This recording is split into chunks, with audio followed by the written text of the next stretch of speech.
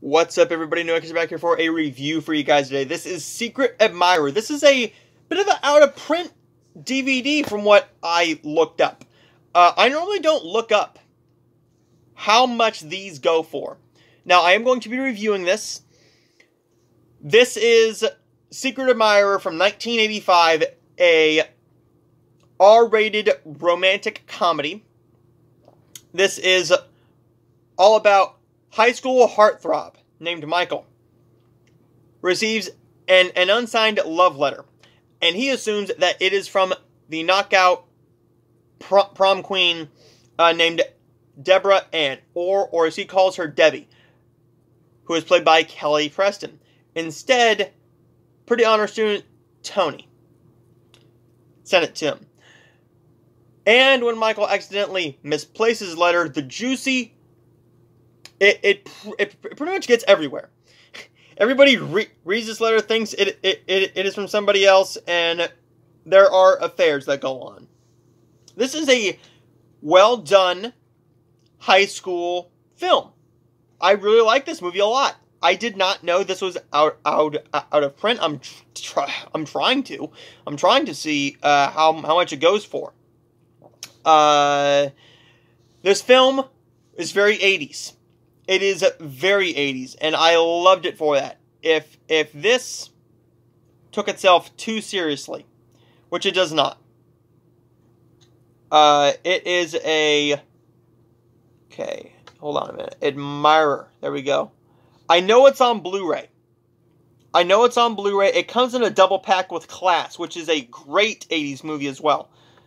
Uh, Secret Admirer goes for $50 new, 21 dollars used on Amazon. The Blu-ray goes for 1916. I'm going to recommend that you buy that film right now. It is a movie that I think you should get.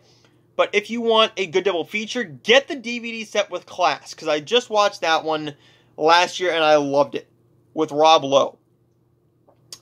Good chemistry between the stars here. Very funny moments. It is rated R. Uh, there's a couple sex scenes in here that that are very R-rated, but the thing is, one of them isn't really a sex scene. It's more of a makeout scene with a very hilarious moment that is one that I'm never going to really forget. Uh, it is something that we we've seen done before, I'm sure. But the thing is, when it works, it works. The 80s movies charmed me. 80s movies have a certain charm to them. I know we don't like to talk about Lori, but who cares? She did what she did. She owned up to it. She served her time, and now let her get back to what she loves. Have her come back to the acting game. I miss her. I was sad that we didn't get her in at least the last episode as Aunt Becky in Fuller House, but we got mentions of her, which it's nice that they didn't really write her out of of of the show or kill her off. They still mentioned her here and there, which I really love. Secret Admirer is a film that I thought I just needed to get my thoughts out on because 80s movies mean a lot to me. When I see an 80s movie that I've never seen or let alone never really heard of, I looked up Lori's uh, IMDb and I did not even know that she was in this movie.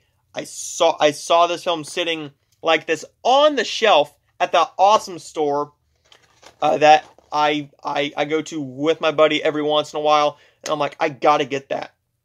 I did not recognize it, and then I looked at the cover and I'm like, that's Lori Loughlin. I gotta get it. Secret Admirer is a great romance film, definitely good for this time of year in February. One I'm going to suggest you check out. It's staying in my collection. Secret Admirer is getting an A minus. Stay tuned for my next review, which is going to be for Corky Romano. See you for that review.